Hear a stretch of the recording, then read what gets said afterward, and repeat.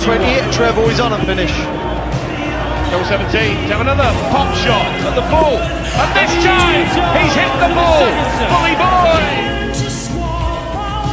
Very solid win. He wins the winner of this game. Now, double 19. Yes, double 12. Oh, what a whopper! What a whopper! For the set. Gets it! Michael Smith has leveled the game.